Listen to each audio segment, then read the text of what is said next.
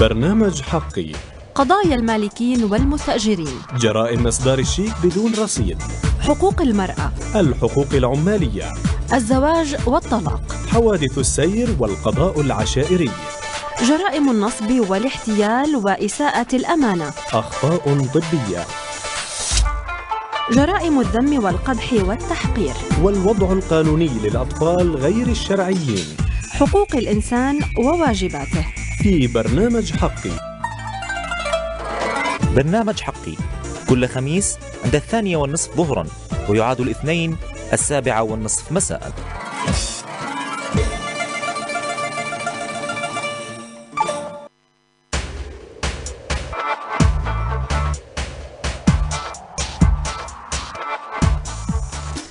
أهلا وسهلا فيكم مستمعينا في حلقة جديدة من حلقات برنامج حقي القانوني التوعوي واللي يبث عبر أثير راديو البلد على تردد 92.4 إف إم.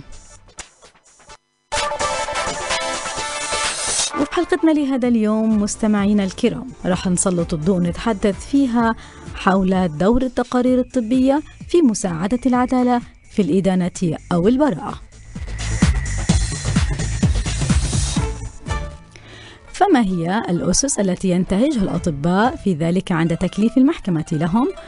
وما هو قصة التقارير الطبية المفتعلة وكيف تكون وممن تصدر ودرجتها في الإثبات؟ إذا مستمعينا الكرام هذه المحاور وغيرها ستكون محور الحديث في هذه الحلقة مع الدكتور منذر اللطفي أخصائي الطب الشرعي في المركز الوطني للطب الشرعي في وزارة الصحة ونائب رئيس الجمعية الأردنية للدراسات والبحوث الجنائية. أهلا وسهلا بك دكتور منذر. أهلا بك. أهلا بك.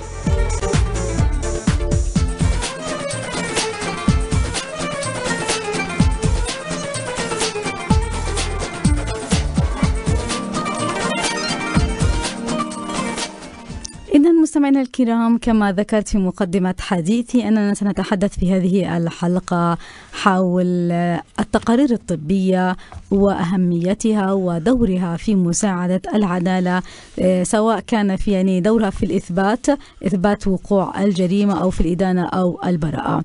واسمح لي يعني دكتور منذر أن أبدأ حديثي معك فعليا يعني ما هو أهمية التقارير الطبية التي نتحدث عنها في وأين يكون دورها؟ في إثبات يعني في الإدانة في إدانة هذا الشخص أو تبرئة هذا الشخص من التهم الموجهة له.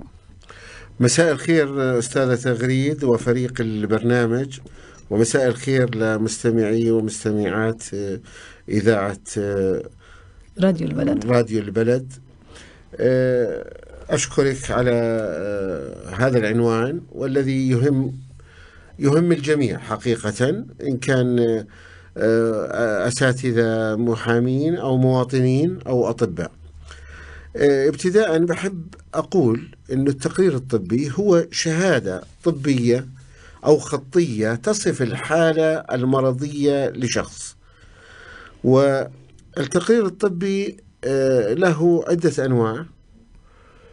منها ما هو تقرير لأغراض محددة مثلا لأغراض العلاج في مكان ما يطلب تقرير الإنسان لأغراض إجازة مرضية لأغراض رخصة سير. ولكن يعني في هذا راح نركز على الجانب اللي في القضاء ومتطلبات القضاء من التقرير الطبي. طبعا التقارير أنواع من حيث هناك تقرير اسمه التقرير الأولي. وهذا يصدره أول طبيب تعامل مع المصاب. يكتب عن حالة المريض. طبعا هناك أجزاء للتقرير لكن التقرير الأولي هو من يكتبه أي طبيب إن كان طبيب إسعاف أو طبيب عيادة يصف في الإصابات وهناك شيء اسمه يعني الطبيب الأولي عفوا التقرير الأولي هو التقرير اللي أول ما يتم عرض هذا الشخص الذي تعرض للأذى إلى هذا الطبيب. أول مباشرة طبيب. يجب أن يكتب في تقرير. أول طبيب تعرض يعرض عليه المصاب يصدر تقرير أولي. كل حالة لازم يكون فيها تقرير. كل إصابة يعني هي طبعا يشتبه فيها يعني خلينا نسمي القضايا الطبية القضائية مم. يعني عادة هي الإيذاء المقصود الم- المشاجرات إيذاء غير مقصود زي حادث السير أي شيء غير مرضي. آه، ي- يحضر المصاب إلى الإسعاف أو إلى عيادة طبيب خاص أو عام ويكتب التقرير الأولي هذا التقرير الأولي تعتمد عليه الجهات التحقيقية إن كان الأمن العام أو القضاء في توثيق الإصابات الأولى وعادة بيكون خلاصته عن الحالة العامة. وعن وضع الإصابات ومن ثم يستكمل الشخص العلاج إن كان داخل المستشفى أو خارجه وفي ختام العلاج أو استقراره يعطى تقرير قطعي وهذا القطعي يعني هو مجال آه، عمل الأطباء الشرعيين. فالكل تقرير قطعي في المملكة الأردنية الهاشمية يصدر عن طبيب شرعي. لكن الت- التقرير الأول يصدر عن أي طبيب؟ أي طبيب. أي طبيب. في أي عيادة في أي مستشفى طبيب خاص أو طبيب حكومة. طب يعني آه، أهمية أو الفرق ما بين التقرير الأولي والتقرير القطعي بالنسبة للمحكمة يعني المحكمة تصدر حكمها بناء على أي تقرير؟ القضاء طبعا يعني هي في المراحل الأولى قبل وصولها أصلا للقضاء الأولي. بتكون لا زالت قضية تحقيقية ابتدائية عند الأمن العام. فيؤخذ هذا التقرير ويقدم للقضاء إن كان للمدعي العام أو لقاضي ال- القاضي المختص وتسجل الحالة إنها إصابة آه، بهذا التقرير. هذا يوثق أنه الإنسان مصاب. أما القرار القضائي والذي يأتي لاحقا بعد مروره في مراحله ال- التي يعرفها القضاة والمحامين فبتكون آه، تستند على التقرير النهائي من الطبيب الشرعي. ال- النهائي من الطبيب الشرعي واللي أصلا يعني له دور في تكييفه للقضاء. فالتقرير آه، أولا توثيق الإصابة أنه حدث إصابة أو لا لأنه إذا شخص راح اشتكى للشرطة أو للقضاء عن أنه تعرض لإيذاء.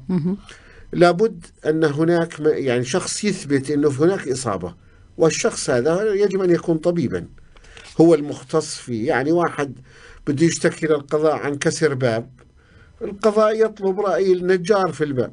والحداد في ال- اللي هو ميكانيكي في السيارة في الإنسان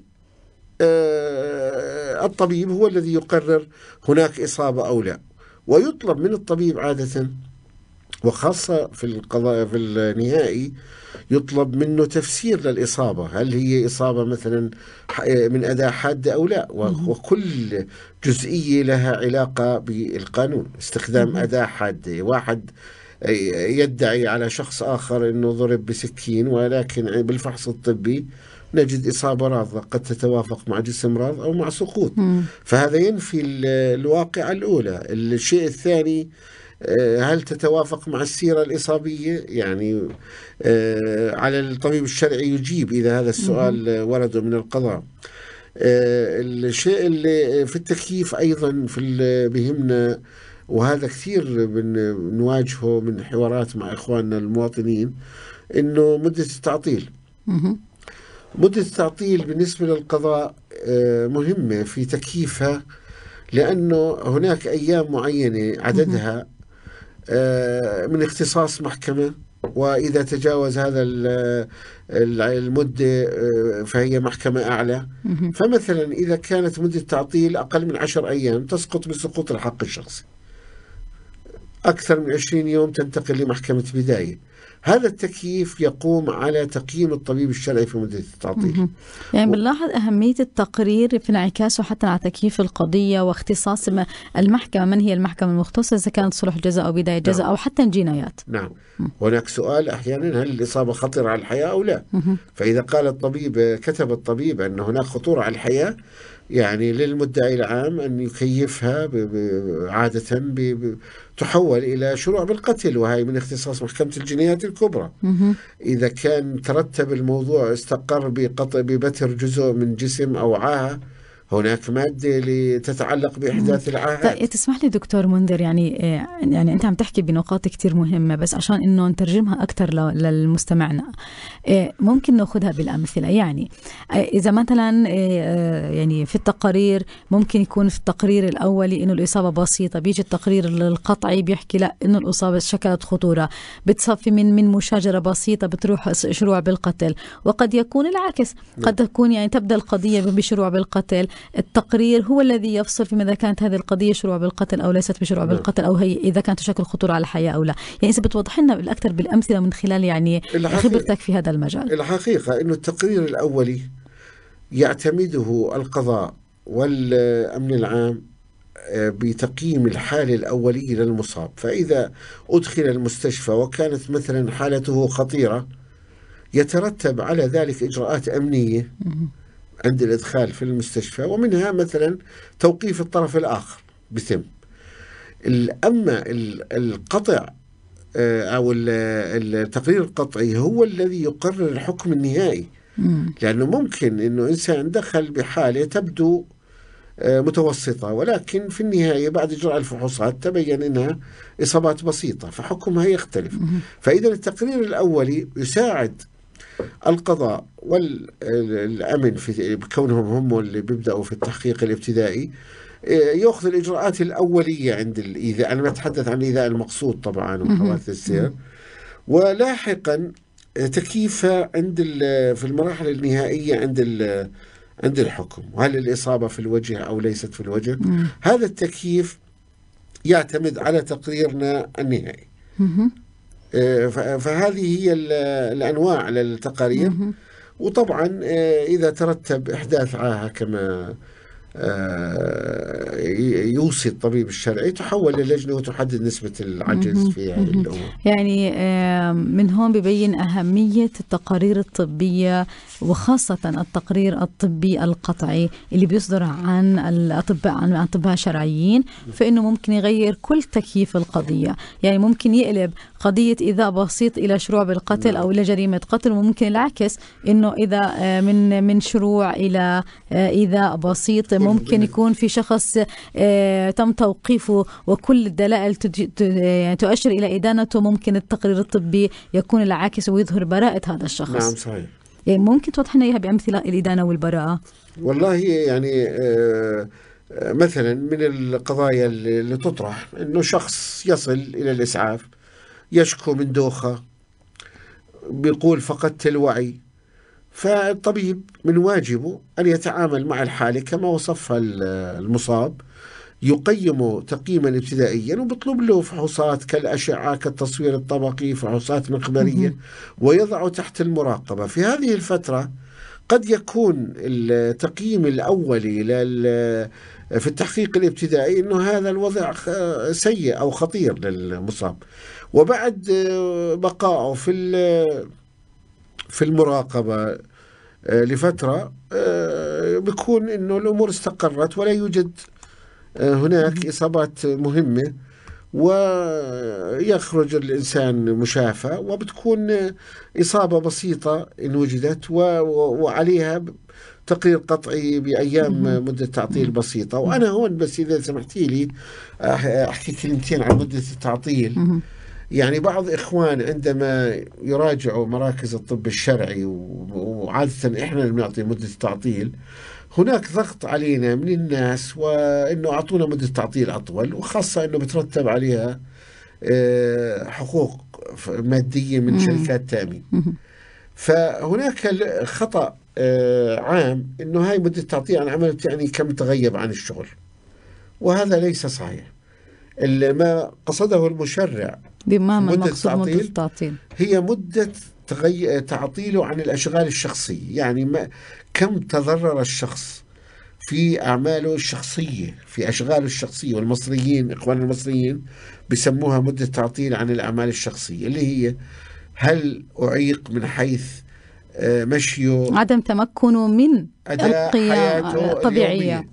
ياكل يشرب ينام يسوق سيارته هذه حط جبس على رجله عاقه هذه أما هو يعني ممكن يساوي عملية كبيرة في البطن ويأخذ إجازات مرضية أربعة أشهر ولكن طيب. نعطيه مدة تعطيل دكتور يعني. آه، نقطة كثير مهمة إذا ما المقصود بمدة التعطيل بالنسبة للمحكمة؟ أنا يعني يعني ليه أس- تقريركم القطعي لازم يشتمل على مدة تعطيل و- و- وإيش دور يعني المحكمة يوم أنتم بتكون بتحددوا مدة التعطيل ال- انعكاسه على المحكمة الحقيقة أنه زملائنا الأطباء السريريين والمعالجين يتعاملوا بالإجازات المرضية مهم. القضاء عندما يطلب منا تقرير قطعي يطلب منا تقدير الضرر الواقع على الإنسان من حيث عدم أدائه لحياته اليومية. والتي عليها يترتب التكييف القضائي فمن تعطل وتقدير العقوبة. تقدير العقوبة. التكييف فمن- وتقدير نعم، العقوبة صحيح. فمن تعطل عن أداء حياته اليومية 20 يوم يختلف عن ال ال- ال 28 مم. يوم وهي ال- النقاط اللي واردة في القانون. أنت أستاذتنا طبعا تعرفيها جيدا اللي هي 10 و20 وما فوق طبعا اللي فوق العشرين نقلها للبداية. فإحنا لما نقول تعطل الإنسان عن أداء حياته اليومية آه، لا نقصد قديش غاب عن ال- عن العمل. وال- والمشرع ساوى بين الناس جزائيا. يعني الجراح الطبيب الجراح إذا ضرب على يده وتعطل شغله كجراح يختلف عن المعلم أو عن الموظف. آه إنه ما تعطل عن يعني ممكن يدرس وأصبع إيده اليسار معطل مثلا هذا جزائيا الناس تتساوى. ويعني المشرعين ساووا بين الناس جزائيا وصار الاختلاف في الحقوق المدنية وإحنا لما بنعطي مدة تعطيل جزائيا نضع أمامنا هاي المعايير. كم تعطل عن أداء حياته اليومية وليس كم تعطل وإلا كانت المرأة والطفل آه، لا سمح الله يضربوا ونطلع مدة تعطيل صفر لأنه ما لهم شغل. يعني ما لهم عمل رسمي يغيبوا عنه يعني ما لهم شغل. كل يعني إذا لا إذا مدة التعطيل هي لها علاقة فيما يتعلق ب آه، تحديد اختصاص المحكمة إذا كانت صلح ولا بداية جزاء أو جنايات وهذا بيعتمد أيضا على تكييف القضية وبالتالي الحكم في مقدار العقوبة نعم صحيح. وبالتالي يعني عشان بس أوضح ل- لمستمعينا لما بتكون قضية صلحية جزائية بتكون مقدار العقوبة أقل نعم. كل ما ارتفعنا بداية جزاء بتزداد العقوبة إيه، لجنايات بتكون يعني العقوبة أكثر مغلظة أكثر وبالتالي هذا كلياته يتم بناؤه على ما مدة يتعلق. مدة التعطيل و يعني التكييف في التقرير الطبي القطعي فيصل في هذه المساله يمكن أنت إجيت على موضوع المرأة والطفل لكن أنا بدي يعني أسألك إنه يعني كيف بتتعامل التقارير الطبية القطعية مع خاصة التقارير الطبية مع المرأة مع قضايا المرأة؟ وخاصة أنه عندنا في عنا خصوصية في مجتمعنا الأردني يعني للمرأة. يعني إذا مثلا واحدة بيضربها جوزها وراحت على نعم. ال- المخفر وشكت عليه لابد من وجود تقرير طبي. كيف بتتعاملوا أنتم مع قضايا المرأة؟ خاصة قضاء امرأة تعرضت لاعتداء لازم تيجي عندكم نعم. تعمل يتم إصدار تقرير. بقضا- بقضايا العنف آه، الأسري. إحنا بنحكي عن المرأة بشكل عام. بشكل عام سواء كانت العنف داخل الأسرة أو خارج داخل الأسرة. الأسرة أو خارجها. طبعا إحنا يعني هاي مناسبة لسه امبارح محتفلين بيوم المرأة. بيوم المرأة. فكل سنة ستاتنا بخير هاي. لأنه إذا هم بخير إحنا بخير. هاي أكيد هاي يعني هي قناعة مطلقة. أقول لك جد يعني يمكن إحنا فاتنا إنه برضه نعيد على المرأة الأردنية والعربية وخاصة المرأة الفلسطينية ونحكي لها كل عام وأنتم بالف خير. فالجزئية اللي تتعلق بالإيذاء للمرأة إن كان إيذاء مقصود آه، أو غير مقصود. يعني طبعا ال- ال- السيدات والآنسات بيراجعوا مراكزنا آه، بنفس النمط اللي هو آه، يتعلق بالرجال وعياداتنا مهيئة لاستقبالهم. وكمان يعني بهاي المناسبة لابد أن أشيد بأنه إحنا في الأردن نعتز أنه عندنا ثلاث زميلات طبيبات شرعيات أيضا. آه، بنعتز بوجودهم ويعني بضيفوا آه، نوعية لعملنا وليس عدد يعني فقط. الآن يعني النساء إذا كان ال- الموضوع خارج الأسرة فهم يعاملوا بالضبط زي الرجال وبعياداتنا الموجودة في كل محافظات المملكة عيادات الطب الشرعي وطبعا وفي مستشفيات الجامعية. في قضايا العنف الأسري يعني والحمد لله نعتز أنه في الأردن آه، صار عندنا اهتمام. أولا قانون العنف الأسري آه، أعطى خصوصية للستات و و وأيضا آه، هناك إدارة حماية الأسرة واللي أعدت لاستقبال النساء المعنفات خارج أطر العيادات العامة. فالسيدة اللي أو ال- إن كانت سيدة متزوجة أو غير متزوجة تستطيع مراجعة عيادات الأسرة وهناك إن الزملاء وزميلات بغطوا عيادات الطب الشرعي في الأسرة. بالإضافة يعني إذا كانت وصلت المستشفى بتأخذ التقرير الأولي لكن هناك آه، الأطباء موجودين في عيادات الأسرة وتسجل ال- الإصابات الموجودة ويستمع للسيدات و... وأيضا هناك لجان في تدرس هذه الحالات وتتابعها بما يحافظ على خصوصية الأسر وخصوصية الستات في أنه ما يتعرضوا لأماكن ما يجوا على أماكن عامة مع الآخرين في و... ويتم المتابعة. لهذه ال- القضايا. وهناك عقوبات خاصة تتعلق في العنف الأسري وأيضا لابد أن نسجل أنه وهذا ليس تشجيع للمشاجرات داخل الأسر ولكن إذا حصل آه، مثل هذا الأمر فحتى لا يوجد رسوم. مقابل هذه التقارير مهم. هي. مجانية في العنف الأسري حسب القانون. فقط في العنف الأسري؟ نعم فقط في العنف الأسري يمكن أنا بدي أنهي يعني دكتور منذر للأسف يعني آه، انتهت حل ال- الوقت المخصص لهذه الحلقة وبالفعل يعني أشكرك على هذه المعلومات المهمة والقيمة حول أهمية التقارير ودور التقرير الطبي في مساعدة العدالة في الإدانة أو البراءة مستمعينا الكرام نشكر الدكتور منذر لطفي أخصائي الطب الشرعي في المركز الوطني للطب الشرعي ونائب رئيس الجمعية الأردنية للدراسات والبحوث الجنائية شكرا لك دكتور. شكرا لك شكراً لكم. تغريد ويعطيكم العافية. الله يعافيك. مستمعي الكرام لكم من فريق عمل البرنامج من سميرة الديات من الهندسة الإذاعية وتغريد الدغمي من الإعداد والتقديم أطيب التحيات. برنامج حقي. قضايا المالكين والمستأجرين. جرائم إصدار الشيك بدون رصيد. حقوق المرأة. الحقوق العمالية. الزواج والطلاق. حوادث السير والقضاء العشائري. جرائم النصب والاحتيال وإساءة الأمانة. أخطاء طبية. جرائم الذم والقدح والتحقير. والوضع القانوني للأطفال غير الشرعيين. حقوق الإنسان وواجباته. في برنامج حقي. برنامج حقي. كل خميس عند الثانية والنصف ظهرا ويعاد الاثنين السابعة والنصف مساء.